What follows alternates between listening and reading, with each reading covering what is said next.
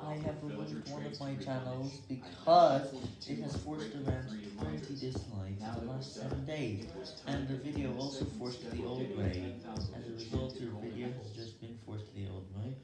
and you've been removed from the tricky of making them was getting We either do this because there are too many dislikes that we forced, or we had to do or we the video, or it got too many likes, average